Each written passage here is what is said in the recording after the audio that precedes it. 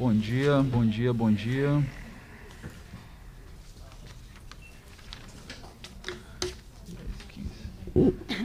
Às 10h15 do dia 2 de setembro de 2021, na qualidade de presidente da Comissão Parlamentar de Inquérito destinada a investigar os casos de desaparecimento de crianças e suas consequências no Estado do Rio de Janeiro, e contando com a presença dos senhores deputados e deputadas Renata Souza, vice-presidente da comissão, deputado Daniel Liberon, relator, deputada Marta Rocha, membro, titular da comissão, dou por aberto os trabalhos da sétima reunião ordinária, que tem por objetivo ouvir a doutora Ellen Souto, titular da Delegacia de Descoberta de Paradeiros.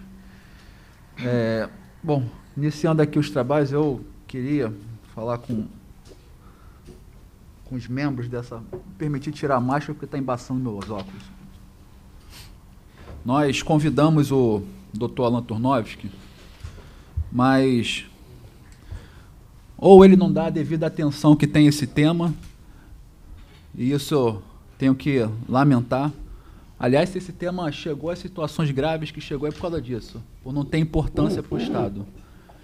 Ele nos respondeu dizendo que iria mandar o, o subsecretário, mas também tantos problemas no Rio de Janeiro, né? milícia, tráfico. Quem são as mães para poder dizer os problemas dela de desaparecimento de filho? É, coisas pequenas. Então, a gente tem a honra aqui de receber a doutora Ellen, que vai poder passar um pouquinho como é que está é, a questão da infraestrutura da, da Delegacia de Descoberta de Paradeiro. Nós sabemos que a delegacia ela atua só no município do Rio de Janeiro. É, muitos dos problemas são de outras regiões do estado, principalmente na Baixada, mas é uma delegacia de referência, uma delegacia que acredito que tem as suas dificuldades é, de infraestruturas operacionais. Então a gente vai poder ter é, hoje a oportunidade de ouvir mais detalhadamente dela como funciona a estrutura e também os seus gargalos. Passar a palavra para a deputada Renata Souza. Bom dia, presidente. Bom dia, nosso relator Daniel Libreron, nossa membro efetiva Marta Rocha. Bom dia, doutora Ellen. Muito obrigada pela sua presença. Acho que no dia de hoje a gente tem um desafio importante, né, dada aí a ausência do secretário da Polícia Civil, é, a gente tem um, um, desafio importante de traçar quais são o, a, os critérios, quais são os, os processos em caso de crianças desaparecimentos. Né? Porque quando a gente vê muitas mães, e doutora Elia, a gente já teve aqui a oportunidade de ouvir várias delas, é, há uma, uma uma situação completamente descabida com relação a essas mães, né? Elas se tornam elas próprias investigadoras diante da ausência ou até omissão do poder público em dar uma resposta no processo de investigação em caso de crianças desaparecidas. Isso é um gargalo que a gente precisa superar dentro de uma política pública da própria Polícia Civil, né?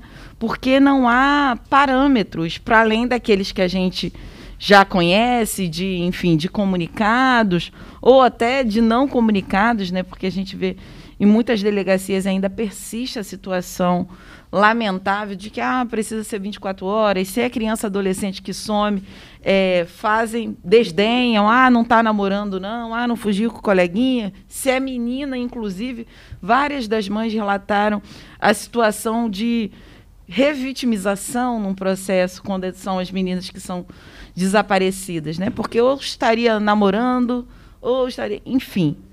Tudo isso nós tivemos a oportunidade de ouvir e sentimos falta de uma de um protocolo de ação concreta da Polícia Civil em casos de crianças desaparecidas.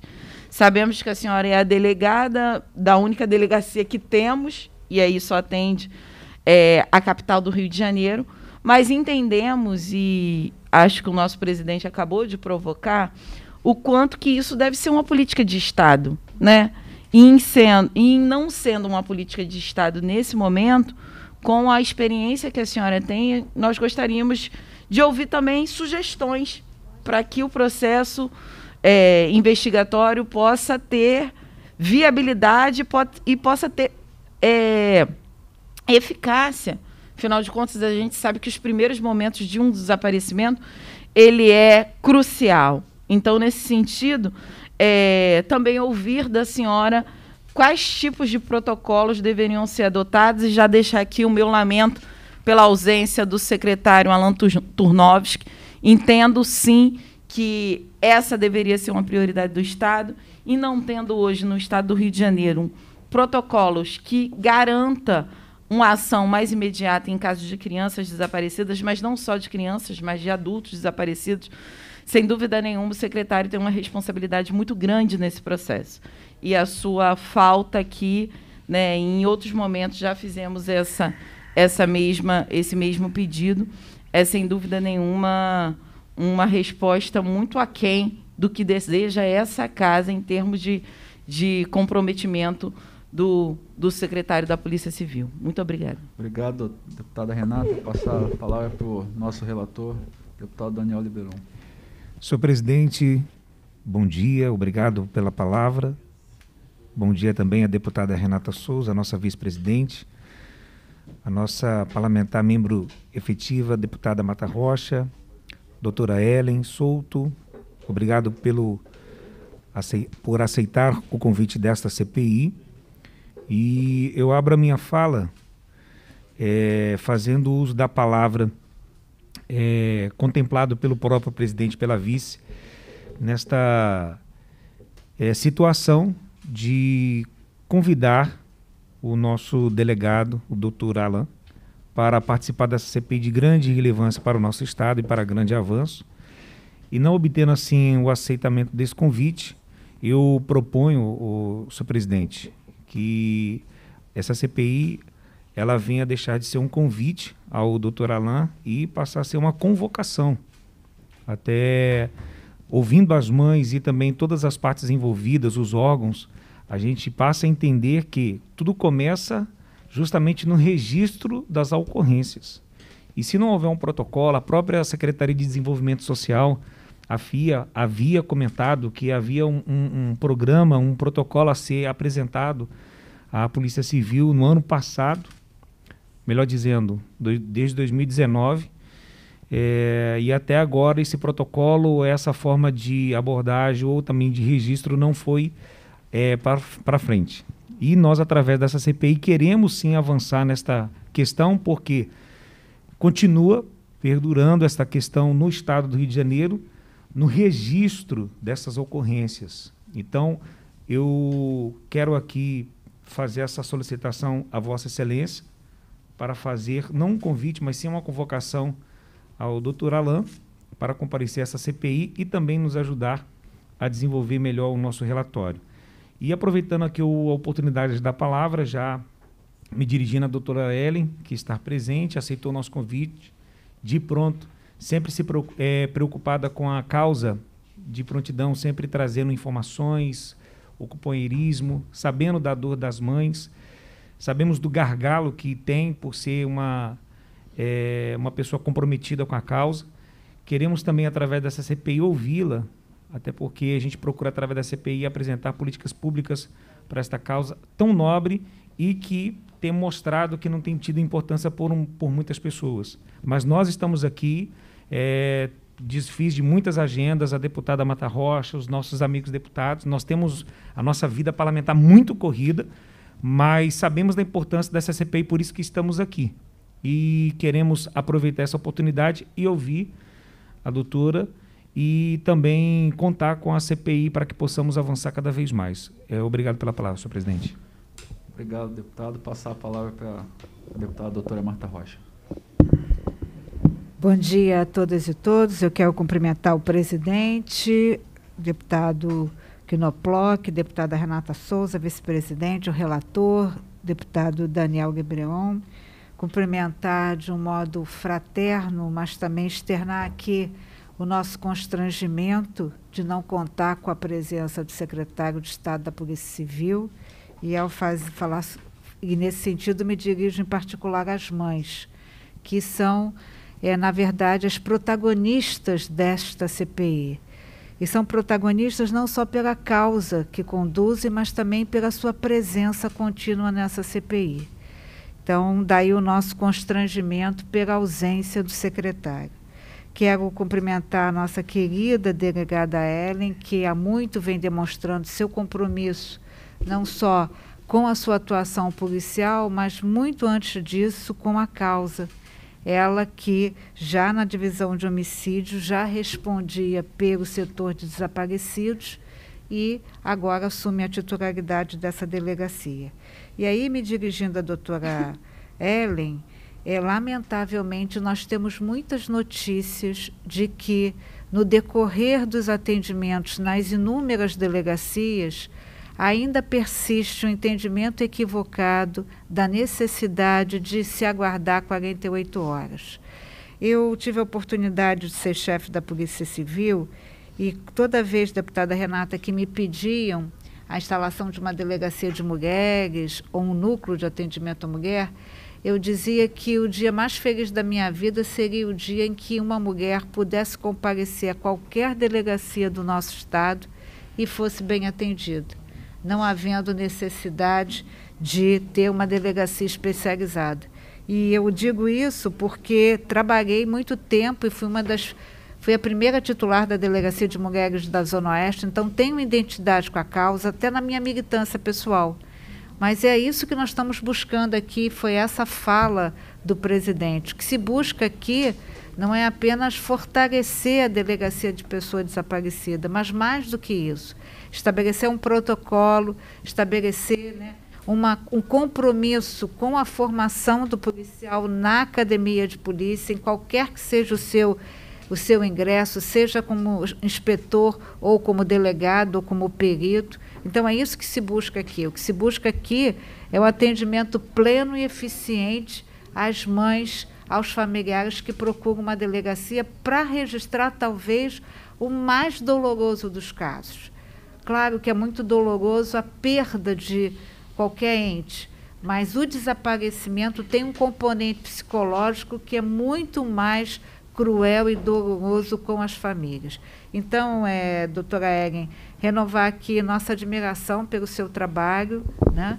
e também é, solicitar que a senhora olhe para essa CPI como uma aliada. Né? Ah, perfeito. O, exatamente, acho que essa foi a fala do nosso presidente, da deputada Renata, do relator, é, como um aliado para dar estruturas, vamos aproveitar o seu conhecimento, a sua expertise, a sua experiência, mas vamos usar a nossa atuação política para não só fortalecer a sua delegacia, mas criar uma rede de proteção que comece a partir do registro de ocorrência numa unidade da Polícia Civil. Muito obrigada. Obrigado, deputado. Antes de, pautar a questão do nosso relator, eu gostaria de, de ouvir aqui eh, a doutora Marta Rocha, pela experiência que ela tem é, nessa casa, né, que é uma experiência maior do que a minha, é, e ouvir um pouquinho se a senhora acredita que deveríamos convidar mais uma vez, antes de deliberar uma convocação. Enfim, queria sua opinião, por favor. O presidente tem sempre essa capacidade de nos colocar né, numa saia justa, né, doutora Ellen? É, presidente, evidentemente, a CPI, né, ela não é um convite. Talvez tenha sido externado de uma forma é, não equivocada, a palavra não é essa, né? Mas a CPI condiciona a apresentação, né?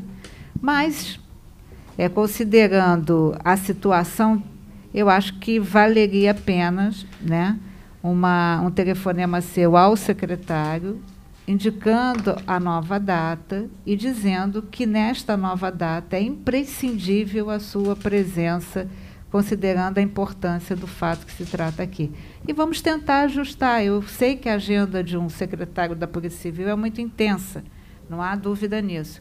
Mas então, não pode ser na próxima semana, vamos ajustar essa data, mas porque a vinda do secretário, e Vossa Excelência colocou isso com muita, com muita pertinência, a vinda do secretário é o compromisso da Polícia Civil. Nós não temos dúvida do compromisso da doutora Eri. Mas a doutora Eri não pode chegar agora, pegar no telefone e ligar para um delegado de uma distrital e dizer o que ele tem que fazer. Né? Escapa a ela essa autoridade. Então, a presença do chefe indica exatamente isso. Tá? Obrigado, então, deputado.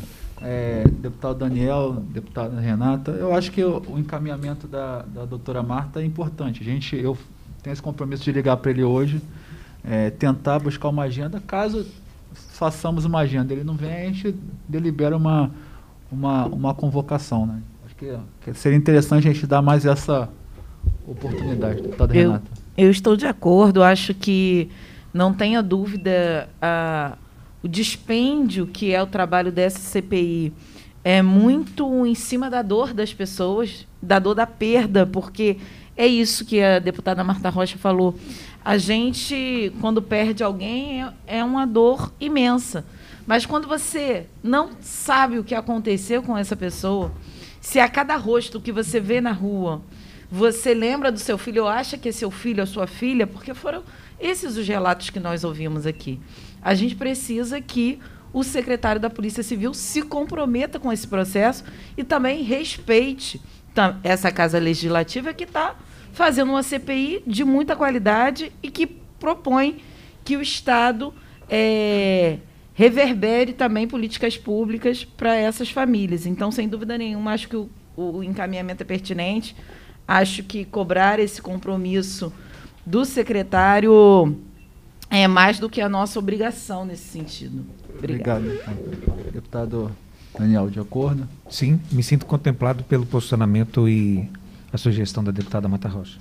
Obrigado. Passar a palavra agora para a doutora Ellen. Bom dia, doutora. Bom dia, deputado nobres colegas aqui da Casa Legislativa. Inicialmente, gostaria de pedir perdão por não ter comparecido às outras convocações. Aqui eu perdi três entes de familiares no mês de agosto. Foi um mês catastrófico do ponto de vista familiar. Vamos lá. É, o que a doutora Marta colocou foi exatamente, foi perfeita a colocação. Eu sou uma formiguinha dentro de um sistema chamado, de uma, de uma instituição chamada Polícia Civil. Eu faço o que me compete, tento fazer da melhor maneira possível, mas a minha realidade é uma ponta dentro do fenômeno do desaparecimento que abrange o estado inteiro. Eu vou explicar como é a estrutura do desaparecimento no estado do Rio de Janeiro, para vocês terem uma noção de quem cuida do desaparecimento. Município do Rio de Janeiro, a atribuição é da DDPA. Então, capital do Rio de Janeiro, atribuição da DDPA. Nós trabalhamos com plantão 24 horas, a família pode ir na delegacia fazer o registro, mas permanece a ela a faculdade de fazer o registro na delegacia do bairro. Não vamos exigir que a família se dirija ao Jacaré, duas da manhã, para fazer um registro, quando ela pode fazer lá na, na 36DP, Delegacia de Santa Cruz. Então, as delegacias distritais continuam fazendo registro. Atualmente, depois da, da criação da delegacia, da DDPA, que foi em, vai fazer agora aniversário, que foi em setembro de 2014, a resolução que disciplinou a criação, eu posso enviar para os senhores, é a resolução 822 de 2014. Eu que redigi a resolução toda, eu e a minha equipe, diante da nossa experiência no tema, e, e inclusive nela tem uma portaria que é o protocolo de investigação e desaparecimento, que é o que nós cumprimos e que, em tese, todo mundo tem que cumprir, mas nós tivemos o cuidado de botar o protocolo da investigação né, genericamente, óbvio, cada caso é um caso, mas tem o protocolo na portaria que está inserida nessa resolução. A delegacia, ela foi. foi eu tenho tempo para falar, né? Então tá. Fica à vontade. É. A delega, essa delegacia é uma delegacia que foi criada por demanda de mães. Não sei se os senhores ouviram aqui a, do, a Jovita Belfort, se ela veio aqui comparecer, relatar ela. Ela é a personificação do sofrimento de uma mãe. E foi, foi uma demanda de mães encabeçada, é, liderada pela Jovita Belfort, tendo em vista o nome, sobre o nome dela e o caso dela ter tido uma grande repercussão. Ela fez uma manifestação muito grande e a deputada, então, à época, chefe de polícia, passou a missão para mim. Você vai criar a delegacia. Eu falei, sim, senhora. E nós, nós, eu e a Alessandra, que é meu braço direito lá, que é a minha policial que está comigo desde que entrou na polícia, nós viajamos para os estados da federação que tinham uma delegacia, são pouquíssimos. Você vê, o, Bra o, Bra o Brasil é um país de proporções continentais, nós temos delegacia em São Paulo, no, no Paraná, a CICRID, que é para criança até 12 anos desaparecidas, então um perfil muito específico. Temos em Minas Gerais e temos em Santa Catarina. E o Rio de Janeiro seria criado só no ano de 2014. Nós visitamos essas delegacias com a finalidade de extrair as melhores experiências. Como a doutora Marta Rocha disse, eu já trabalhava na homicídios, trabalhava homicídios e desaparecimento, então a gente já tinha sabia das necessidades, né? um setor dentro de um homicídios é engolido pelo, pelo homicídio, o desaparecimento, de, eu digo por experiência própria. O, o, desaparecimento dentro de uma divisão de homicídios ele é engolido pelo homicídio, porque o homicídio ele demanda muito, a demanda é muito grande e é um setor. Setor é um setor, é uma sala com alguns policiais e uma viatura. E eu faço questão de, de frisar isso porque, atualmente, eu vou indo e vou voltando. Na capital do Rio, as delegacias registram, tão somente registram e enviam para a DDPA. Como funciona na Baixada Fluminense? As delegacias também só registram, acho que são 18 delegacias na Baixada, não me recordo, doutora Marta. Também só registram e enviam para o setor de desaparecidos dentro da divisão de homicídios da Baixada Fluminense. Então, os meninos lá de Belfor Roxo, o registro foi realizado na 54. Também teve essa questão do prazo de 24 horas, que será abordado, que é o maior problema que nós enfrentamos. São vários problemas enfrentados, mas esse é o maior problema, que é um problema que nós não temos controle lá na delegacia. Porque, como disse bem a doutora Marta Rocha, eu fico numa situação muito singular. Eu não sou delegada de corregedoria para ficar ligando para. To... Eu trabalho com 45 delegacias. Se eu passar o tempo todo ligando para as delegacias, dizendo que o registro não foi feito, que não sei o que, não sei o que lá, primeiro que é uma situação indelicada para mim, porque ele é igual a mim, ele é um titular igual a mim, eu não sou superior a ele, ele é um colega. E eu vou passar o dia inteiro fazendo isso. E se eu ficar oficiando também a, a corregedoria para dizer que a delegacia tal, eu fico numa situação muito delicada. A situação que eu vivencio lá diante dessa realidade dos registros nas distritais, isso é o que eu pego em relação ao meu problema, município do Rio de Janeiro. Não me refiro a Baixada, Niterói nem interior, não sei o que acontece.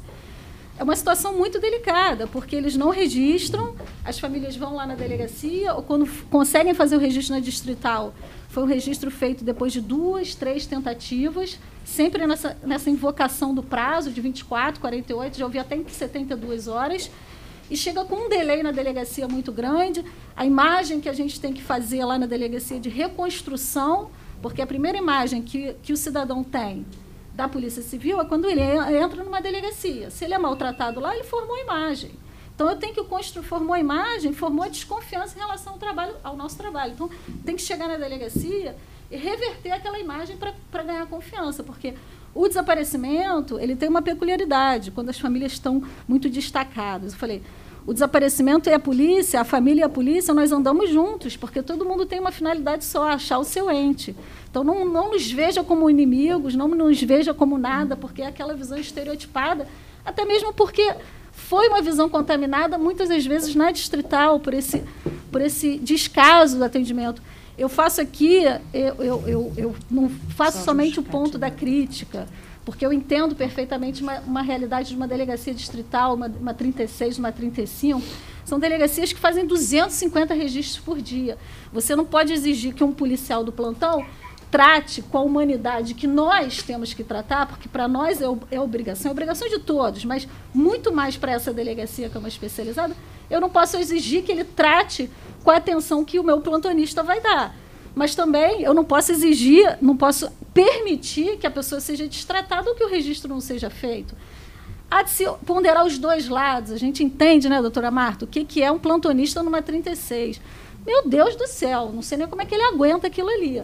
Mas a gente entende o lado da família. Eu não gostaria. O meu trabalho é todo baseado na empatia. Eu não faço com o outro o que eu não gostaria que fizesse comigo. Eu não gostaria de ter uma filha desaparecida e que o meu registro não fosse feito. Ou que eu visse piadinha, ou que mandasse esperar. Ou milhões. Milhões de justificativas. Vou voltando. Baixada Fluminense, 54 DP, o registro de Belfor Roxo, já soube que teve problema nesse caso, não sei nada dessa investigação mas não foi registrado na hora, pela questão do prazo também. vai para o setor desaparecidos da divisão de homicídio lá com o doutor Uriel na Baixada Fluminense. Niterói São Gonçalo, idem. Registro lá na delegacia de Caraí, vai para o setor desaparecidos na delegacia de Niterói São Gonçalo. Rio, é, interior do estado do Rio de Janeiro, Petrópolis, Teresópolis, Campos, vai ficar com eles até o final, não se envia mais para lugar nenhum. Então, nós temos a realidade seguinte: capital, Baixada e Niterói, as delegacias distritais só têm que registrar. Hoje em dia, antes da delegacia de, da DDPA, dessa resolução, as delegacias tinham que registrar e ficar investigando 15 dias. Era um caos. Não faziam nada, se perdia 15 dias. Isso foi um exemplo na, na, na investigação do Amarildo, que foi uma investigação que eu presidi. A doutora Marta era chefe na época. Ficou 15 dias lá na 15ª perdendo tempo. São 15 dias preciosos que você perde. Pelo menos isso se encerrou. Então, o que se exige da, das distritais hoje em dia é tão somente fazer o registro. Não se exige mais nada, é só fazer um registro bem feito que seja o registro feito, porque nem isso fazem. Então, já que vocês são os parceiros, o que tem que ser feito é, é primeiro, eu coloquei, afixei cartazes né, com a questão dos prazos nas distritais há muitos anos atrás, mas devem todos ter sido desfeitos. Eu fiz por sozinha, sem, sem, sem nenhum amparo institucional. Tem que ter uma, uma, uma, uma, uma uma, o Giniton, o atual diretor da Baixada Fluminense, diante desses problemas da Baixada Fluminense, fez uns cartazes nessa questão do prazo e determinou que fosse colocada na, em todas as delegacias da Baixada Fluminense. Elas têm hoje em dia. A gente fez até a arte, mudamos a arte, botamos uma criança no balanço sem. Porque a gente tem um, um policial que faz um envelhecimento digital, então ele fez isso. Ele botou uma criança só com a sombra, uma imagem bem, bem forte, marcante, para a pessoa capturar a imagem da pessoa e ela vê ali que não tem a questão do prazo. Mas assim, ele fez porque ele quis dele. Institucionalmente não tem. Tem que ter uma campanha de afixar nas delegacias cartazes enormes, me desculpe, não tem que ser cartazinho desse tamanho, porque ninguém vê nada. E cartaz e, e, mural de delegacia, o negócio está ali, fica ali 700 anos, vai morrer com papel ali. Tem que ser uma coisa grande que chame a atenção para que a família, ao ver, ela tenha ciência de que ela não tem que esperar 24 horas, porque se ela vai numa delegacia policial fala que tem que esperar, ela vai questionar alguma coisa, se é a pessoa que em tese sabe, que é a pessoa que tem conhecimento e que é quem vai registrar, ela não vai obrigar, ela não tem condição disso. Então, isso não tem. No interior do. Eu fixei na época, isso em 2015, foi até com a ajuda da Jovita Belfort, que fez numa gráfica particular os nossos cartazes para fixar se tem ou não tem, o que o meu policial vê, fala, doutora, não tem mais nada hoje em dia. Arranca, não interessa, o plantonista que está ali, não interessa ele, ele arranca. Para que o cidadão que entre numa 36, eu estou sempre citando a 36, porque eu nem sei quem é o titular lá hoje, mas é uma delegacia que não faz registro de desaparecimento. Não faz registro e a gente tem uma série de, de, de questões hoje em dia.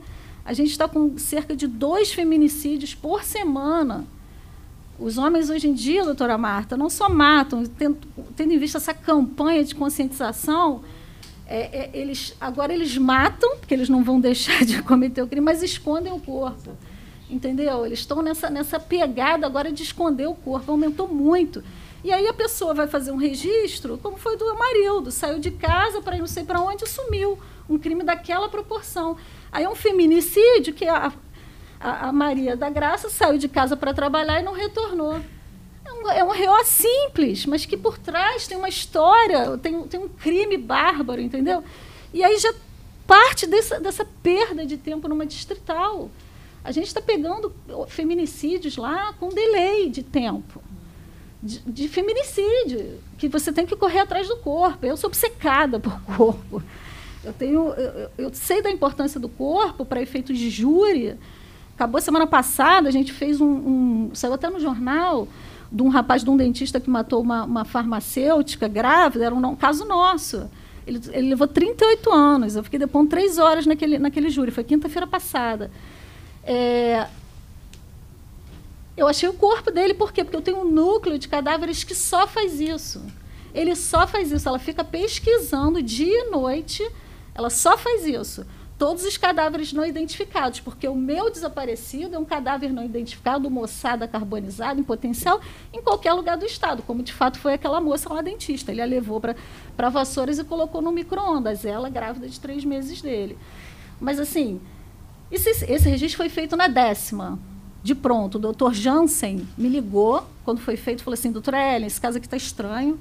A irmã está falando que ele foi ao encontro dela, que ela foi ao encontro dele, ele nega, está estranho. Eu falei, aí a viatura foi lá, pegou a família, isso foi na quinta, na sexta a família estava lá fazendo. O doutor Jansen me ligou, a família foi na décima, me ligou. Na, no sábado de madrugada ele estava preso já na, na, na, temporária, porque nós fomos novamente ao local do fato e achamos os brincos dela, enfim. E aí, sem sequer confirmar a identificação dela nesse momento, ele já estava preso temporariamente. Mas eu digo o seguinte: nesse caso especificamente, agora eu, eu falo, se esse registro fosse feito na 36, coitada da 36, mas vou falar da 36 mesmo se esse registro fosse feito na 36, não seria feito. Está entendendo? Não seria feito. Aí você perde 24 horas, aí vai para o outro plantão, tenta fazer. Ou então, o que tem acontecido muito lá, vai na 36, aí não consegue, aí tenta na 35, tenta não sei o quê. As pessoas estão tentando em três delegacias, entendeu? Porque nem todo mundo sabe o que é DDPA, gente. DDPA sabe pra gente. Ou quando a gente tem, quando o parente tem alguém desaparecido que joga na internet ou alguém entra nessa rede, né, que é, uma, que é um grupo unido, tem ciência, mas as pessoas não sabem, não sabem que existe uma delegacia especializada. Então, essa questão do prazo hoje em dia é o meu maior problema, porque eu não consigo fazer nada sem um registro. Se eu tenho um crime seríssimo, sem registro, eu não tenho nem ciência que o crime existiu, você há de convir, né? Então, eu não consigo fazer nada. Às vezes a gente tem corpo lá, porque a Carol lá do núcleo de cadáveres está me dizendo, doutor, corpo de mulher, né? um corpo de mulher nos chama atenção e a gente fica procurando registro.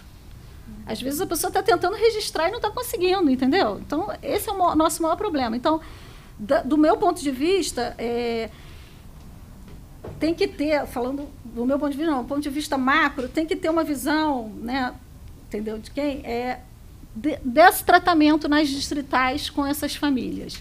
De que forma? Não sei. Nós teremos concurso para Polícia Civil, para delegado, inspetor, investigador, oficial de cartório tem que ter uma capacitação. As pessoas têm que sair de lá doutrinadas quanto ao tema, porque se elas sentarem numa delegacia, elas vão ter que lidar com isso. Eventualmente vão fazer um registro de desaparecimento. Pode ser uma coisa que não tenha grandes importâncias, uma fuga do lar, grandes importâncias do ponto de vista policial, mas pode ser um feminicídio, porque você não consegue avaliar o que é. A gente, quando chega lá e vê o registro, a gente já sabe o que é o que. Mas é porque a gente tem experiência, né? não é nada demais. Mas o delegado lá da ponta, o policial da ponta, não tem essa experiência para avaliar o que é importante, o que não é importante. Nem tem que fazer essa avaliação. Me desculpe, não tem que fazer. Agora, a questão do alerta PRI.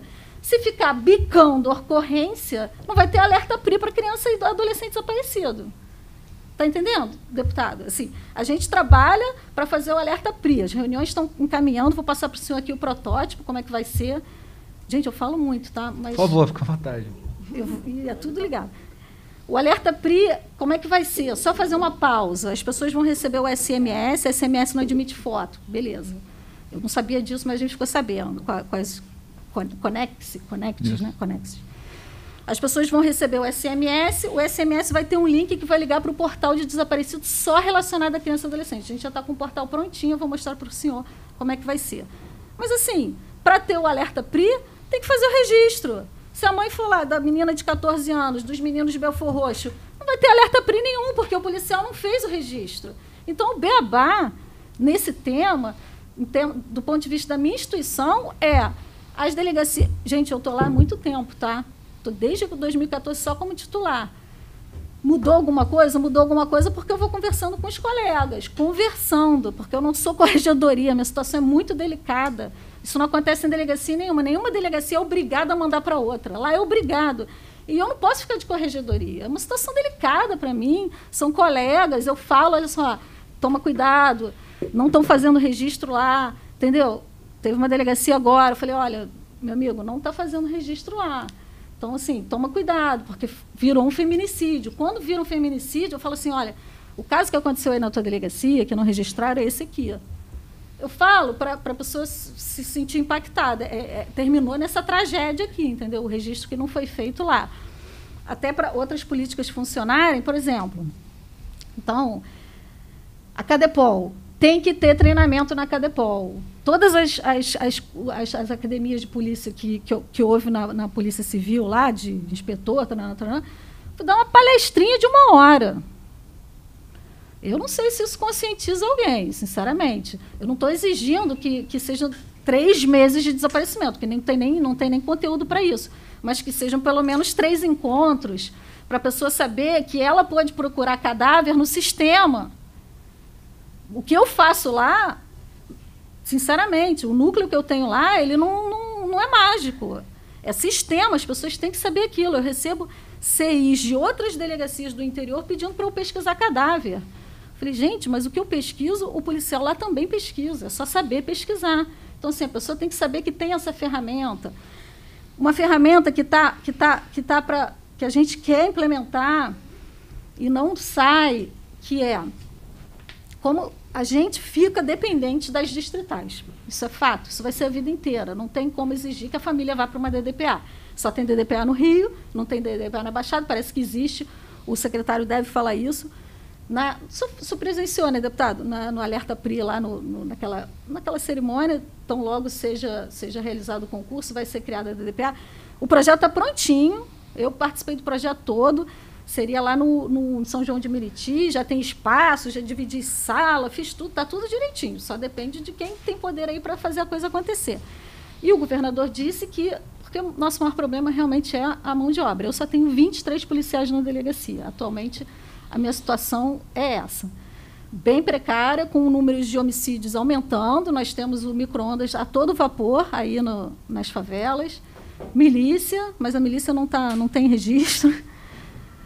Essa situação da milícia no estado do Rio de Janeiro, não permitem que o registro seja feito do desaparecimento, mas o micro-ondas nas favelas estão a todo vapor, tendo em vista que, que o programa PP está um tanto quanto em baixa, e o número de feminicídios muito grande. Então, assim, com um número muito reduzido. Meu núcleo de homicídios, porque o desaparecimento não se resume ao homicídio, o fenômeno não é o homicídio, ele ainda é uma coisa mais abrangente, questões de saúde pública, conflitos familiares, mas o, o homicídio faz parte da realidade do, do desaparecimento. Com o núcleo que eu estou com quatro pessoas, quatro policiais, para investigar todos os, todos os homicídios e ocultação de cadáver no município do Rio de Janeiro. Sede convir que é pouco, né, doutora Marta? Como é que você faz isso? Dá nó em pingo d'água, a gente tenta fazer o melhor, é o que eu falo. A gente tem Carente está todo mundo. Então, assim, vamos trabalhar o que a gente tem. A gente, tá, a gente é especialista nisso, né, doutora Marta? A gente está sempre dando nó em pingo d'água e tentando fazer o melhor. Mas essa é a grande questão, parece que me foi o grande impeditivo para a criação do DPA. Efetivo, realmente, não tem efetivo, não tem. Mas o, o, o desaparecimento, o desaparecimento da Baixada é um número expressivo e muito, muito homicídio. Então, eu fico imaginando, eu não sei qual é, como é que o Uriel trata lá na, na na, na homicídio, se o, se o homicídio com ocultação cai para a equipe de homicídios mesmo, sai do desaparecimento, realmente eu não sei, ele, melhor ele dizendo. Mas, então, eu acho assim, importante, já que vocês são os parceiros, tem que se exigir da Cadepol uma que seja um tema, que seja uma matéria a ser tratada lá para todos que passam, pelo menos para sab pessoas saberem o que, que, tem que fazer. Que eu vou falar, ó, você sentou aqui, você tem que fazer isso. Entendeu? Tem que botar as vestes, tem que botar tem que botar características físicas, coisas que são importantes, que eventualmente é um delegado que amanhã está tá, tá chefiando uma equipe ou é um policial que está fazendo esse registro. Ao menos para ter uma conscientização. Não pode ter essa ideia de que ah, desaparecimento é bobeirinha. Não pode. O policial não pode ter esse tipo de raciocínio, me desculpe. Fala assim, quando uma pessoa fala isso, fala assim, isso mostra que você não sabe nada do tema. Isso, isso mostra que desse tema você pode entender de tudo, mas desse tema você, você não entende. É óbvio que nós temos as situações e que volta, que retorna, mas temos as situações extremamente complexas, temos as, as, as situações de saúde mental dificílimas. Como é que você acha um esquizofrênico que é andarilho? E eu falo, desaparecimento, meu amigo, pode bater na tua casa, porque você tem um tio-avô com Alzheimer, você pode ter um primo dependente químico, você pode ter uma prima vítima de um feminicídio. O desaparecimento afeta qualquer um. Qualquer um. Quando, quando se, se, se tem a saúde mental ligada ali, nós temos idosos dentro de casa que podem desaparecer. Nós temos pessoas que podem estar ligadas às drogas, podem ser vítimas de, de, um, de um crime, enfim, ainda mais no Rio de Janeiro. Tudo pode acontecer. E aí, e aí, o que eu estava falando? Eu falo muito, né? Estava falando sobre a estrutura. A Cadepol, o prazo da, de 24 horas não tem nada fixado atualmente. O que eu botei já era, já foi. E eu não tenho como ficar fazendo. Isso tem que ser lá de cima. Asplan, alguém que banque banners para serem colocados nas distritais. Quando eu falo distritais, é daqui, da Praça Mauá, até a delegacia lá de. mais distante, não sei, Itaperuna, Varriçai. Entendeu? Tem que ser, tem que ser, para a gente começar a tratar o tema.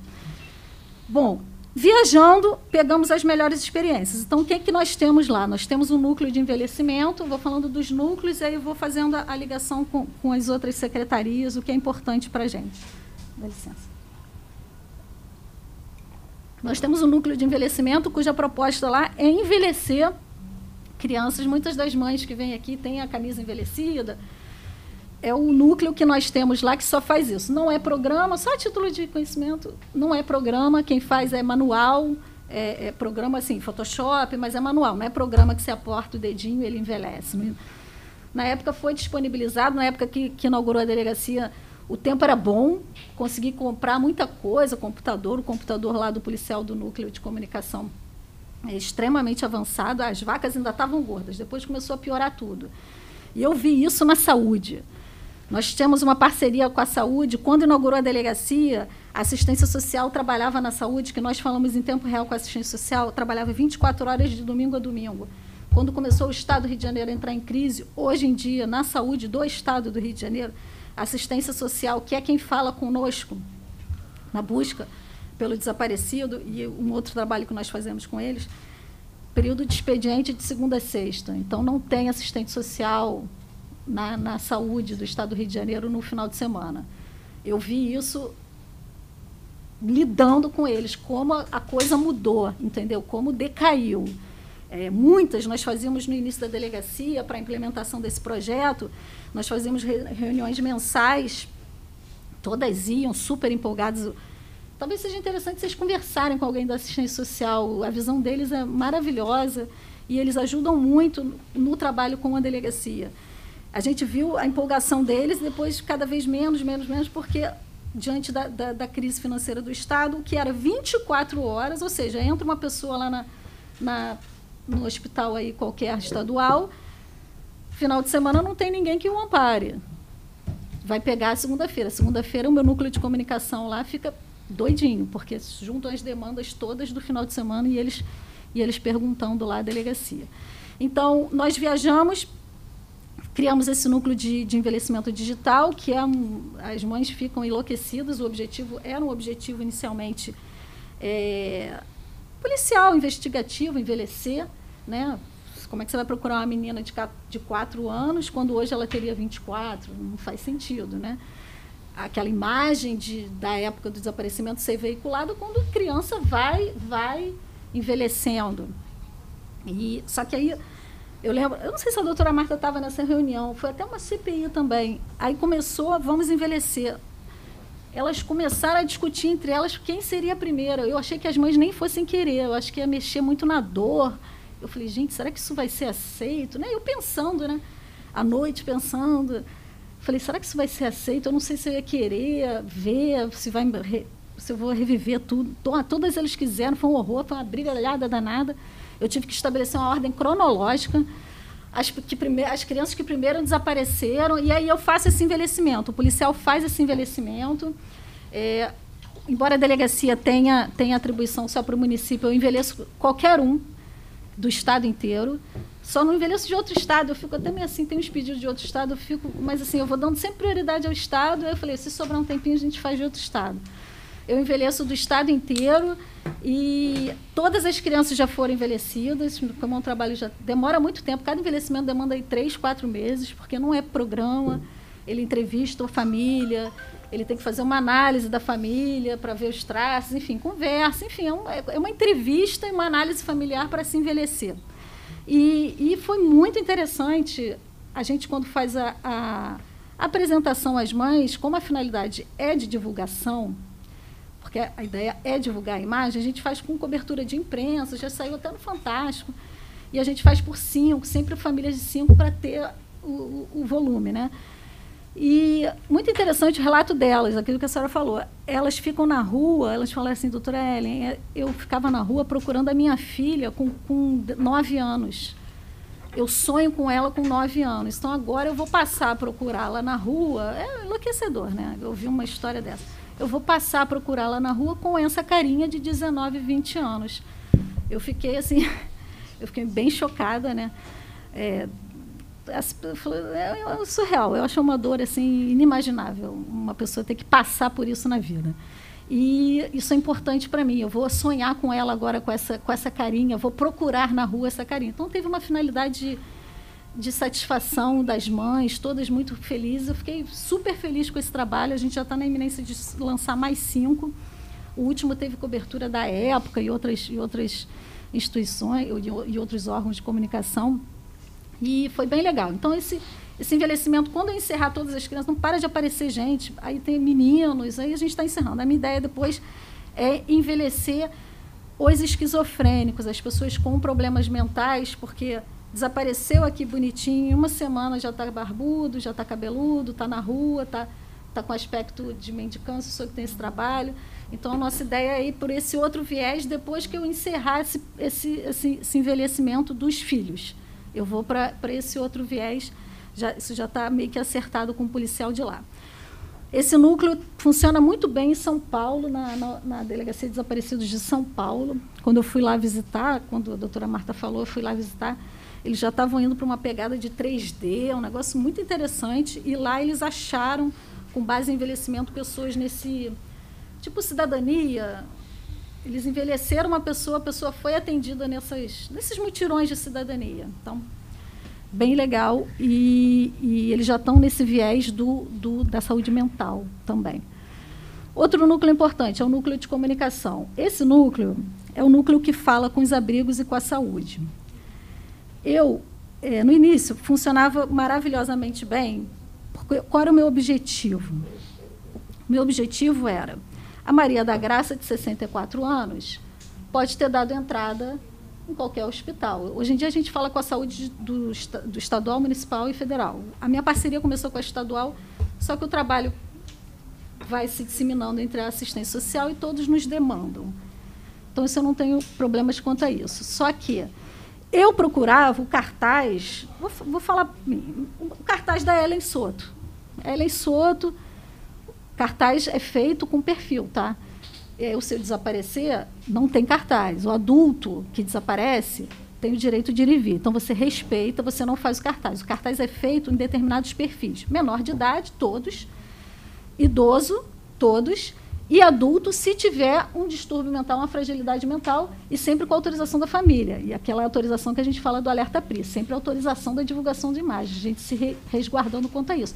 E só nesse perfil porque existe o direito constitucional de ir e vir. Existe o direito do cidadão de romper com o vínculo, de ser desaparecido. E temos casos como esse. Teve um caso lá na SDP, lá na homicídio, uma senhorinha cega entrou lá na homicídio e falou assim: meu marido está desaparecido há 10 anos. Eu falei, perfeito. Ela nem tinha feito registro. Aí, consulta daqui, consulta daqui, o marido dela vivo da Silva. Eu falei, meu Deus do céu. Aí consulta endereço seropédico.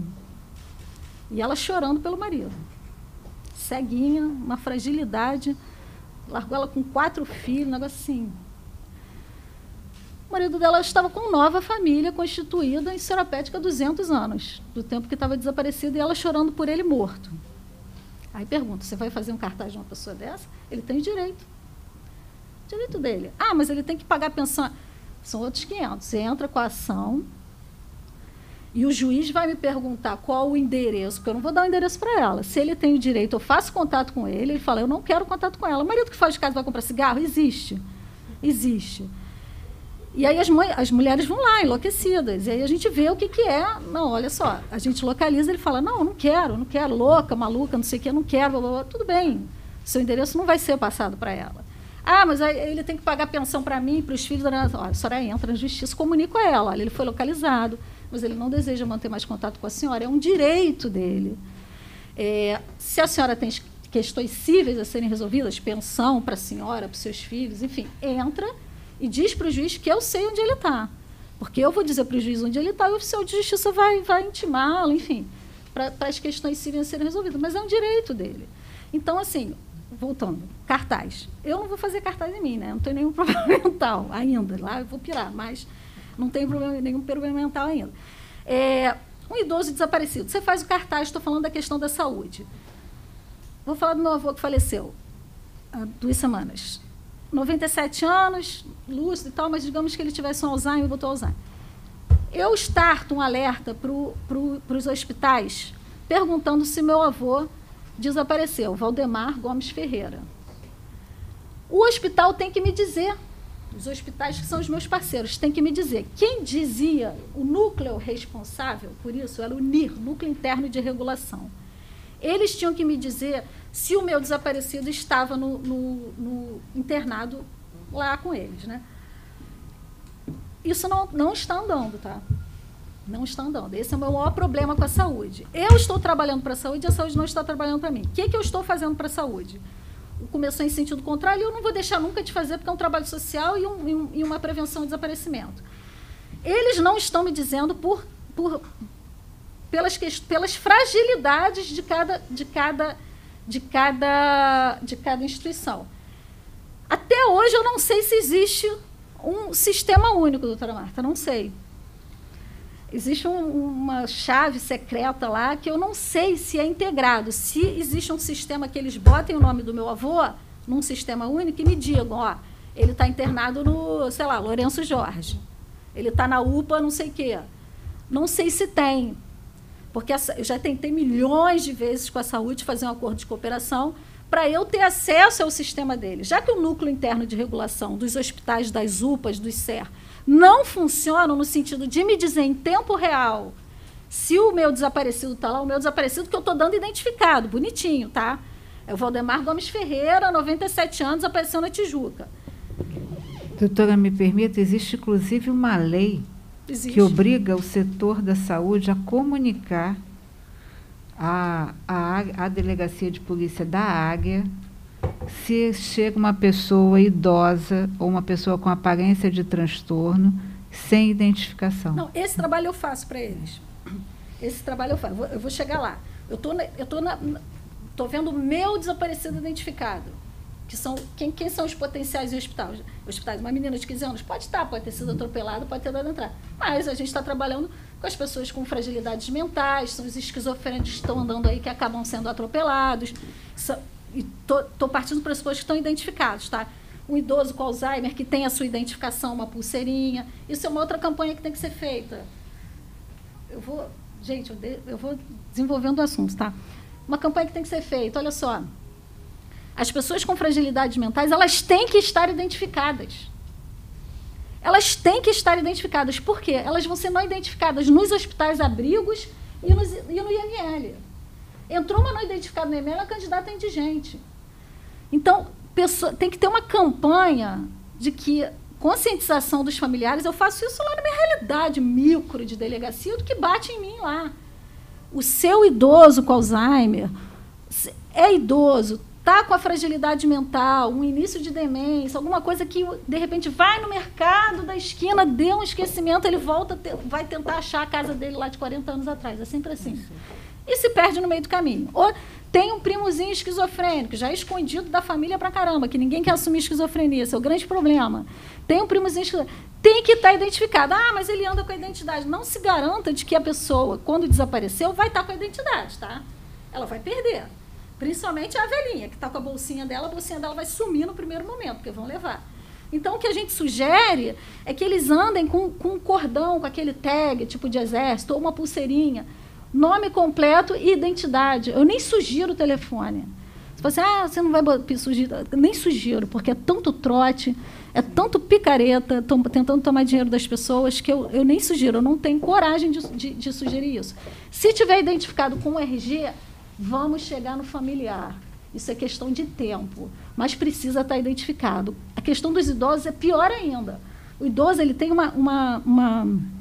Eu fiz o curso superior de polícia, até escrevi meu trabalho sobre isso. O idoso, com o tempo, as digitais dele vão ficando gastas. Tem um termo técnico para isso, mas vai ficando gasta. É difícil até de identificar idoso. Você manda, às vezes, um papiloscopista lá no IFP ou num abrigo, isso a gente faz direto, Coleta as digitais dele para ver qual é a identificação dele. Não vem. A digital dele é fraca. Como é que você vai chegar nessa família se você não consegue nem identificar essa pessoa? Esse é um problema seríssimo. Como é que você vai identificar o idosinho? Meu avô já faleceu, mas meu avô, se tivesse sido atropelado, entrou no IML, digital fraquíssima, não vai identificar nunca.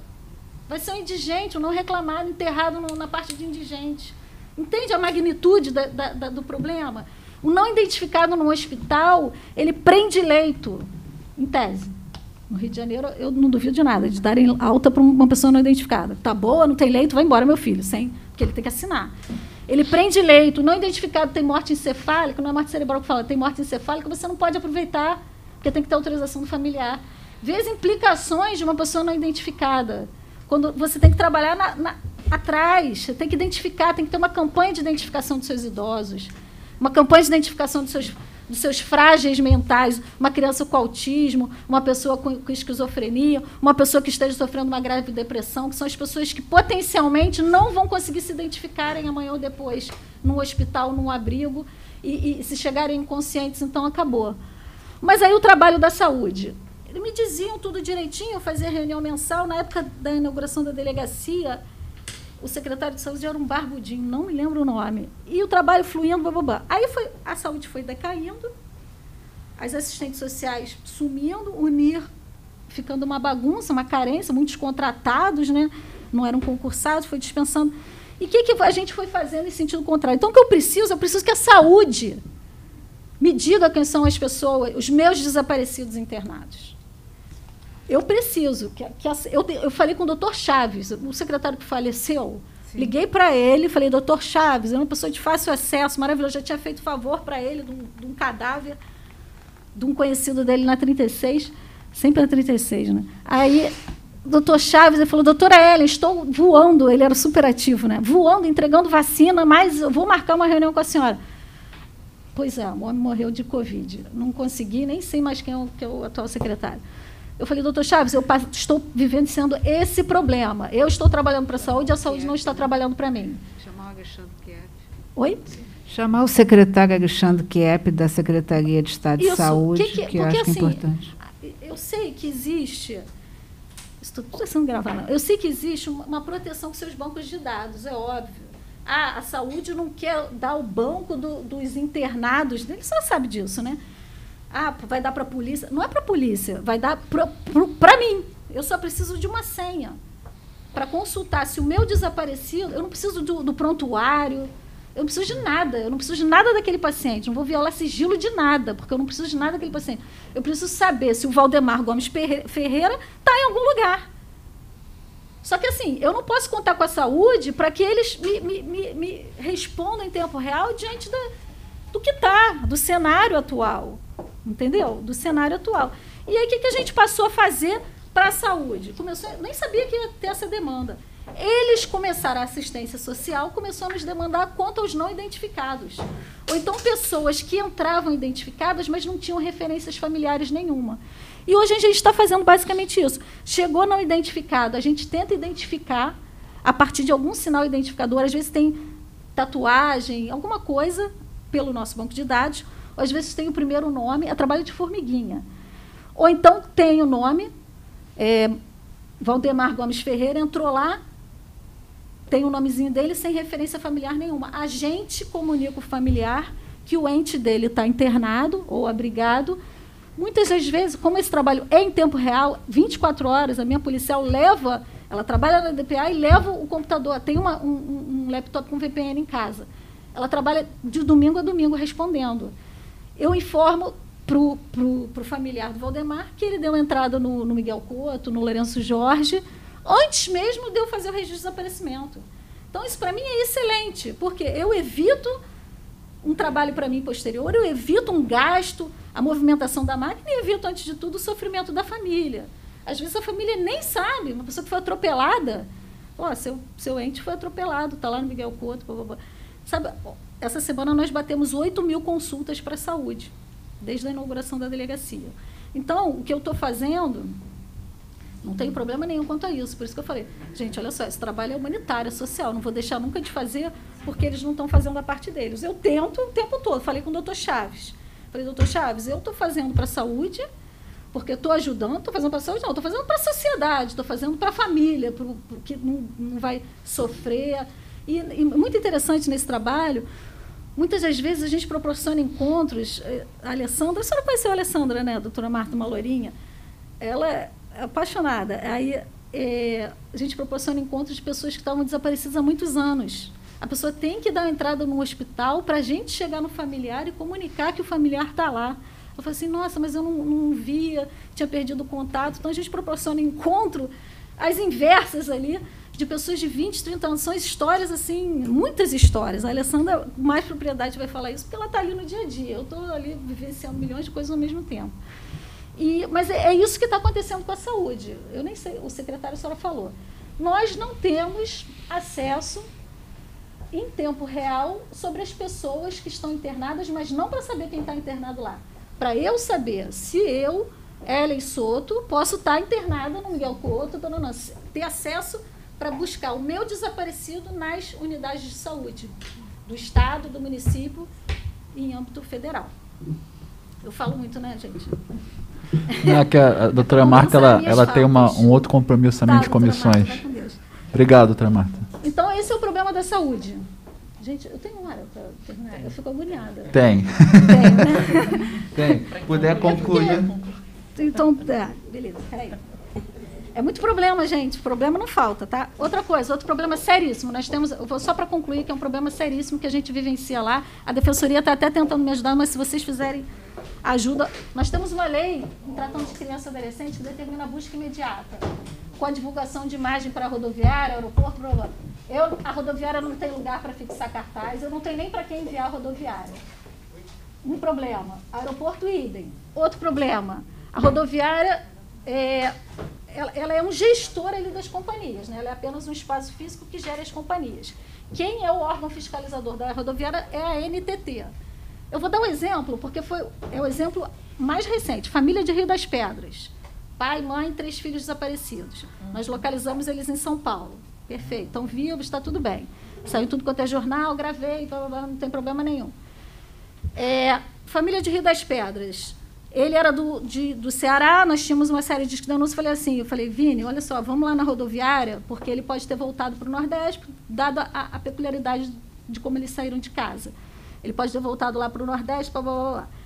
Fomos na rodoviária. A gente tem que supor para onde vai o desaparecido, para eu levantar, ou então e ter a boa vontade do rapaz da NTT me dizer quais são as empresas de ônibus que vão para Fortaleza, lá para o Ceará. Assim, tá? É nesse nível. Ah, são seis, são, sei lá, são três. Ah, então tá. Eu tenho que oficiar as três para saber se fulaninho, fulaninho, fulaninho, fulaninho embarcaram. Aí eles me informam em tempo real? Negativo. Eles vão mandar para o jurídico deles para o jurídico me informar. Nisso, a criança já foi. Tá? Quando a gente está tratando de criança potencialmente traficada, a criança já foi. Não tenho acesso em tempo real. O que estava acontecendo na prática, antes da pandemia, o rapaz da NTT fez amizade com a gente, com a minha equipe. Aí nós íamos lá, procurávamos, procurávamos o rapaz, ele falava assim: não, irmão, beleza. Para onde que eles foram? São Paulo? Aí ele ia lá nas empresas de São Paulo, porque ele é órgão fiscalizador, entrava no sistema da empresa Itapemirim. É, era isso outro, tananã, tananã. Ah, tá, embarcou nesse ônibus aqui, blá, blá, blá. Ele, na boa vontade, entrava no sistema da empresa, porque a empresa mesmo manda para o jurídico, o jurídico me responde. Como eu cheguei na família de São Paulo, chegou uma informação. Na verdade, a gente viu a antena deles, a antena deles estava dando em São Paulo. São Paulo, São Paulo, São Paulo. Tietê. Aí, liga para a rodoviária. Rodoviária do Rio me ajudou nada, as empresas. Nada, estou esperando sentada até hoje. Responde, a resposta deles. Então, que eles tragam, eles, que eles venham para o problema, porque eles são atores na busca pelo desaparecimento. Eu não tenho acesso imediato, não adianta ficar mandando para o jurídico.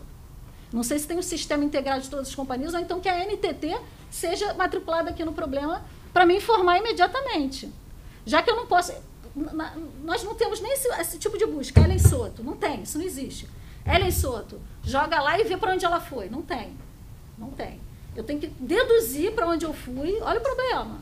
Deduzir. Ah, pô, ela foi para Minas. Aí o rapaz da NNT vai nas empresas de Minas e, e aí joga meu nome. Mas eu tenho que tra trazer um trajeto, um possível trajeto. Pô, um país de proporção continental, eu estava tentando achar o cara lá, em, lá, em, lá no Nordeste, que eu falei, ele deve ter voltado para o Nordeste. Quando a antena dele bateu em São Paulo. Aí nós fizemos contato com a rodoviária de São Paulo. Ó, estamos com a situação. Falou assim: olha só, tem uma família aqui. Há dois dias. Tira foto, babá, babá, são eles. Aí fiz a contato com a assistência social de São Paulo, eles foram parados, conselho tutelar, enfim, a situação se resolveu. Eu oficiei as empresas de, de as empresas de ônibus para São Paulo, eu estou esperando até hoje. Não me responderam. Então, assim, isso, a gente está tratando desse caso específico. Quando a gente trata de menores de idade que po podem ser traficados, não se tem controle. Porque a delegacia, a polícia civil que investiga, não tem acesso. Não tem acesso, não tem resposta imediata. E um país de proporções continentais, não se tem controle, deputado. Eu vou dar alerta PRI, a criança está entrando no ônibus lá e acabou. Para você ver a bagunça que é, se ela a pessoa está saindo daqui para o Maranhão. Se ela desembarcar num estado e ficar num determinado estado, num grau da vida aí, não existe controle nem de onde ela desembarcou. Tá.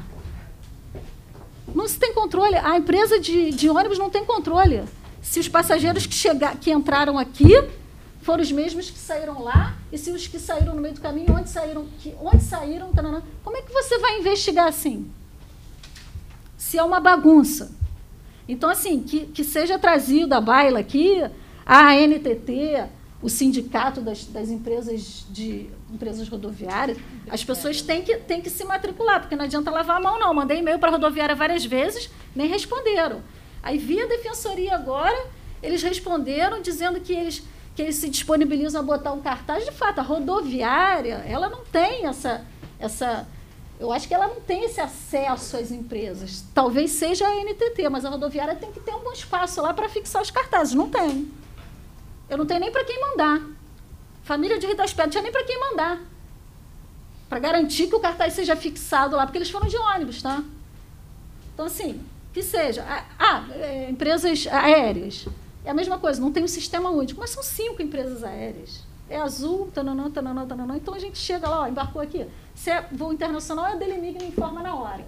A Polícia Federal. A gente vai lá na hora, não, saiu do país, não saiu do país. Se é voo doméstico, a gente teve isso num australiano desaparecido. Tananã, são cinco. Agora o Brasil, Quantos, quantos ônibus? Não tem controle nenhum, nenhum, nenhum. Isso é uma realidade. Isso é uma realidade. Eu tive um, um desaparecimento de uma pessoa, herdeiro do, da Ganster com esquizofrenia, que saiu de São Paulo em surto, veio aqui para o Rio de Janeiro. Eu tive um problema com a rodoviária para a empresa. Ele veio de ônibus para cá e se matou. Achei o corpo dele em Petrópolis. Esquizofrênico, é sempre a mesma história. Para de tomar remédio, entre o surto, vai encontrar Deus e se mata lá no local que, que ele vai encontrar, ouvir a voz lá, encontrar a luz. Encontrei o corpo dele aqui. Tive problema sério com a rodoviária. Não me respondeu. Entendeu? A gente fica ali porque não está não, não tá no protocolo, não está na, na, rota de investigação, na rota, no protocolo de investigação. E eles são atores legais. Eles estão previstos em lei. Então, me ajudem, só isso. É... Deputada. Gente, é muita coisa, mas Passar se quiserem, eu venho outro dia. Passar a palavra aqui para a deputada Renata Souza. Bom, obrigada, doutora Ellen. Sem dúvida nenhuma, todos os desafios que a senhora traz aqui para nós, em termos de o quão fica aquém das necessidades desse protocolo, inclusive que a senhora nos relatou, de atendimento e ação de investigação em caso de desaparecimento. Então, já gostaria de solicitar à senhora que nos enviasse Perfeito. esse protocolo, porque até então o que temos observado aqui é que não existe um protocolo. Se a senhora nos diz que existe um já na implantação da delegacia, nós gostaríamos de tomar conhecimento, inclusive, para ajudar aí no, no relatório é, final da CPI. A senhora trouxe aqui um elemento central, que é a formação e capacitação dos agentes. Acho que a gente precisa encaminhar, inclusive, junto à Corregedoria da Polícia Civil, e é isso, Fica Sim. muito delicado para a doutora Ellen fazer isso, mas a gente tem que comprometer a Corregedoria da Polícia Civil em acompanhar esses procedimentos de registro. Se não estão ocorrendo, se não estão ocorrendo em tempo hábil, a própria Corregedoria tem que dar informação também qual é o seu protocolo em casos de um registro mal feito. Porque é isso, né? A gente está falando aqui de um trabalho de fiscalização. Se, é, se a corregedoria não está fiscalizando, né, nós precisamos é, comprometer a corregedoria da Polícia Civil nesse sentido. E também acho que o treinamento na Cadepol é essencial. Acho que aqui a gente pode encaminhar algum, alguma ação legislativa nesse sentido com relação ao treinamento. Uma outra coisa que a doutora Ellen nos trouxe aqui, da campanha permanente sobre desaparecidos. Isso já é lei, né?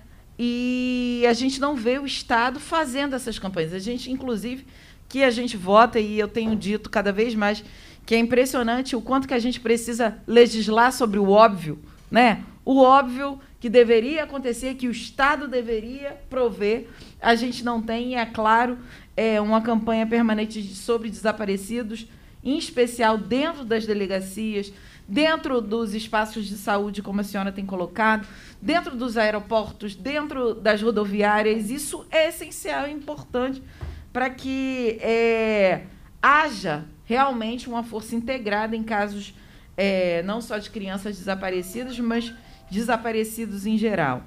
Também acho, é, doutora Ellen, que seria importante a senhora nos responder, nos enviar.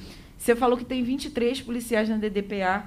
E gostaria de saber, saber as funções, para que a gente possa observar e, e, e, ver, enfim, se essas funções, se hoje atende ou não esse número de policiais e em, em que momento está. Porque quando você traz um núcleo de envelhecimento, né, o quanto que isso é importante, quantos policiais hoje tem nesse núcleo, né? Você falou que três meses aproximadamente para o um envelhecimento de uma pessoa.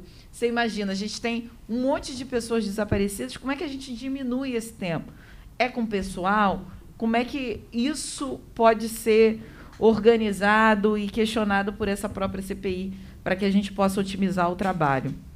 É, e esse núcleo de comunicação que a senhora nos trouxe. Fiquei muito preocupada, né?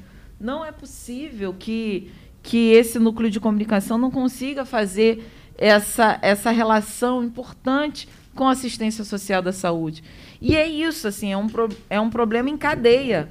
Se você não tem assistente social na área da saúde no fim de semana, você imagina, né? E a senhora trouxe aqui é, a situação do trabalho acumulado já na segunda-feira, porque muita gente, inclusive, desaparece na, no fim de semana. Né?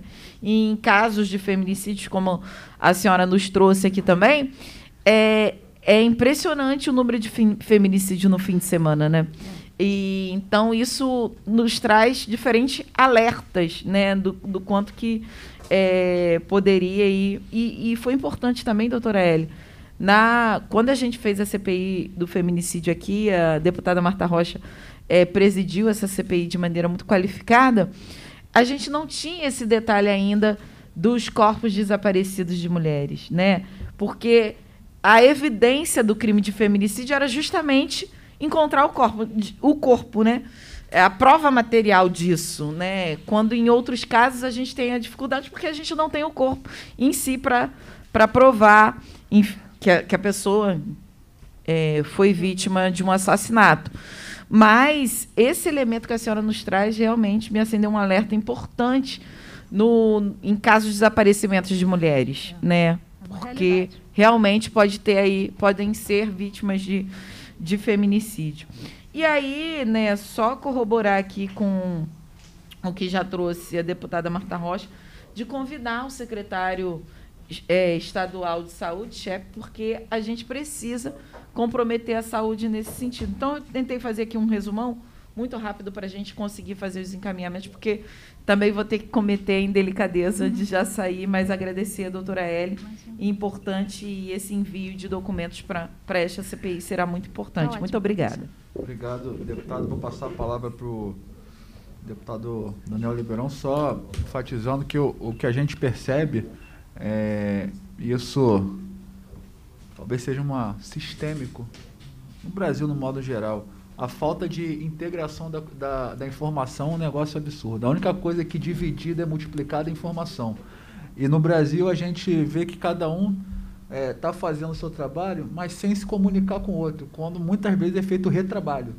Né? Então, a rodoviária não comunica a delegacia, é, a saúde não comunica, a delegacia não comunica a delegacia, é, um, é uma situação é, que é preciso ter um processo bem definido para que essa comunicação ela seja clara e seja é, replicada. Passar a palavra para o deputado relator Daniel Liberon. Senhor presidente, é, é, doutora Ellen também que fez uso da fala, explanando várias questões pertinentes ao tema e muitas outras questões que foram aqui também colocadas. É, o que me chamou bastante atenção, doutora, foi quando a senhora comentou a respeito é, das, de, das delegacias distritais que faz é, o registro e é passada para a DDPA. E, e há outras que não fazem esse registro. Aí só duas questões que eu queria que a senhora é, pontuasse nessa CPI. O que, que impede o registro? Boa vontade, qualificação, é, o que, que, seria hoje o, o, gargalo desse registro que dificulta no desenvolvimento da descoberta destas pessoas a serem ali registradas? E o tempo, porque se a, a delegacia distrital ela faz o registro do desaparecimento e ela não corre à frente do assunto a ser descoberto, ele, ele tem que repassar isso à DTPA. Qual é o tempo limite? Qual é o tempo estimado? porque se tratando de informações, a gente já tem bem claro no que foi aqui colocado a dificuldade de obter. Então, obtendo essa informação e repassando para a delegacia competente e, e, assim correr atrás, à frente, melhor dizendo, da situação, qual seria esse tempo? E também, é, presidente, fazer a, um convite, já que aqui a, a doutora Ellen ela colocou essa dificuldade, e aqui o senhor também explanou a respeito dessa é, informação que ela não é compartilhada, porque a gente sabe que é uma engrenagem que não possui, que traz essa dificuldade hoje no desenvolvimento não só de pessoas desaparecidas, mas muitas outras questões. Então, é, eu não sei se é pertinente, mas eu quero também fazer aqui o pedido à Vossa Excelência para solicitar é, o diretor, o presidente ou representante da NTT, que pode, que é o órgão fiscalizador, então já traz essa atribuição e que de que forma podemos assim é, trazer esse pedido à NTT às empresas rodoviárias para que assim eles possam estar auxiliando as delegacias nesse, nessa informação que é onde que eu falo que a, a delegada Ellen, na capital, ela já tem esse desdobramento gigantesco. Imagina no estado do Rio de Janeiro. Então, quando resolver um problema, vai aparecer outros problemas que já persistem na capital. Então, era mais ou menos essas duas perguntas. Fui contemplado por algumas perguntas da deputada Renata Souza, que aqui foi colocado, também pelo posicionamento do nosso presidente. Mas eu só queria saber mais ou menos essa tá. questão da, da senhora. É, acho que eu não fui claro. O maior impeditivo do registro na distrital é a questão do prazo. Eles invocam o prazo de 24 horas, de 48 horas, eu vi até 72 horas, quando não existe um prazo mínimo para ser feito o registro. Então, assim, existe uma cultura policial de mandar a família aguardar. A família vai lá na 36 e fala, não, a senhora tem que esperar 24 horas. Então, é desinformação. É uma desinformação ou uma informação utilizada a seu favor, no sentido de não fazer o registro. Talvez ele saiba ou ele realmente não saiba. Então, assim, é, é, o que é necessário é que eu falo. O cidadão que entra na delegacia, ele tem que ver ali que é um direito imediato o registro. É um direito dele fazer o registro imediato de desaparecimento de criança. De desaparecimento, não é só criança adolescente, não. É, para ele falar policial, mas aqui tem um cartaz dizendo isso. Como é que o senhor. Até para o policial, se ele não sabe, ele fica sabendo. Cita a lei e tudo. Esse é o maior problema. Esse é o maior problema. Se, é, se ele se vale do prazo para não fazer, se ele efetivamente acha isso, eu não sei, porque é o que eu falo. É, embora seja centralizado lá na DPA, na, na, nas homicídios e tal, é capilarizado. Então, são as pessoas do, da, das delegacias e da quinta DP aqui que está fazendo o registro agora que vai lá para a minha delegacia. Então, assim, eu não tenho como controlar essa pessoa ali se ele está ali para a mãe falando que tem que esperar 24 horas. Esse é o maior problema. A distrital hoje em dia Isso é uma realidade aqui do município, Baixada e Niterói. Elas não fazem nada, elas só têm que fazer o registro. Porque assim que o registro é feito, o delegado titular manda para mim. Isso, isso ele manda, porque para se livrar do registro, ele manda na hora, que ele não quer problema para ele. Então, pelo menos isso eu tenho essa tranquilidade. O registro é feito, ele manda para mim na hora. Então, assim, só tem que fazer o registro. Caramba, já sei que o registro não vai ser bem feito, não tem problema, já nem estou exigindo isso. Que, com termo de declaração, aí eu vou querer trabalhar na Suíça, não, não, não dá. Só faz o registro, porque eu só consigo me movimentar com registro. Só consigo chamar a família se eu tiver registro, não tem ciência. A família está perambulando aí. Então, o maior impeditivo hoje é a família que chega aqui na quinta DP para fazer um registro de eventualmente uma pessoa que tenha sido morta na, providência, na, na providência e está desaparecida e não consegue fazer o registro. Esse é o, é o, maior impeditivo. E ele só tem que fazer o registro. Que, tanana, tanana, tanana, tanana, e o despacho do delegado. A da DPA. Acabou. Eu tenho ciência e a gente toca a investigação seja ela qual for, de crime, de busca em hospital, de busca de cadáveres, de abrigo, enfim, o que for, acionar rodoviária, se for uma criança, enfim. Isso a gente toca. Mas o maior problema é esse: o registro não é feito invocando um prazo que nunca existiu. Ah, esse prazo existiu? Não, nunca existiu. Não existe esse prazo no mundo.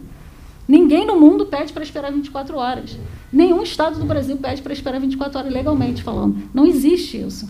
E eles invocam e as famílias são desprovidas de conhecimento, não vão questionar. Por isso que eu digo, tem que ter um negócio ali para a família falar, não, mas olha ali, eu tenho direito a fazer o registro.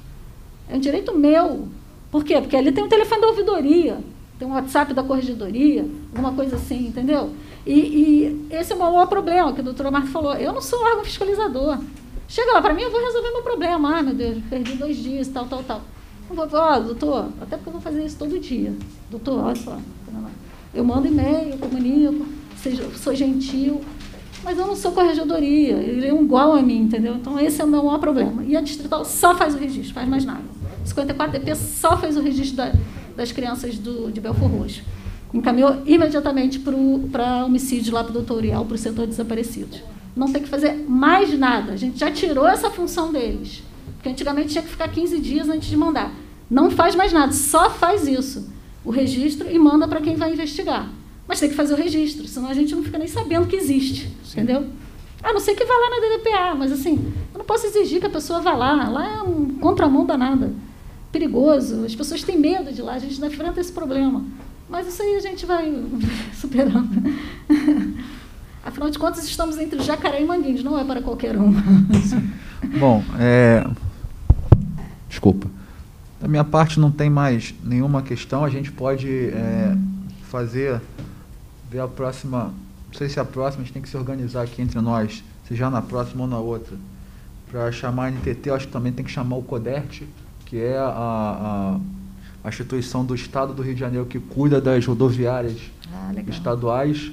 Então a gente tem a Novo Rio, a gente tem a América Fontenay, tem diversas, né, que, que é importante convidá-los e a gente aproveita para chamar também o Rio Galeão para ver como é que e o Santos Dumont para ver como é que eles conseguem olha como eu disse a gente tem que tentar criar um ambiente colaborativo Isso. porque muitas das coisas aqui a gente provavelmente vai, vai sair dessa CPI com projetos de leis só que ao meu ver é surreal você ficar criando 500 mil leis para fazer algo que poderia ser feito de boa vontade no entendimento entre partes Fazer Bom, lei do óbvio. É, fazer lei, fazer lei do óbvio. Aí parece, doutor Ellen, que quando vem na TV fala assim, cara, mas esses caras não tem mais nada o que fazer, não, tá fazendo lei do, do, do, do, do, do, que já, do que já é teoricamente razoável. Pois é, mas o razoável no Rio de Janeiro nem sempre funciona.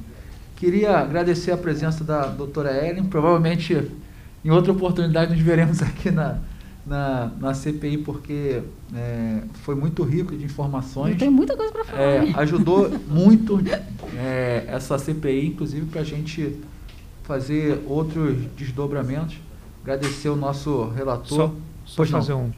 É, seria também pertinente, o presidente, fazer um convite, o diretor da Cadepol, Perfeito. É, já que a gente entrou nesse, nessa, nessa questão, Perfeito. a gente também fazer esse convite para a gente ter uma ampla explanação do assunto e de vários órgãos que estão se envolvendo e assim a gente possa também ouvir eles também.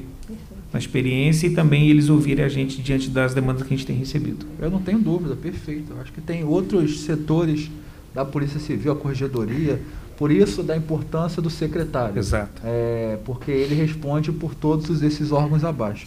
A saúde, se vocês puderem falar com a saúde. É, Exato. já e, tá a, já. e a saúde a gente a já, O doutor Chá faleceu, nem acreditei. Falei, meu Deus do céu. já marcamos Vamos aqui para pedir, é, convidar o Alexandre Kiep, que é o secretário atual.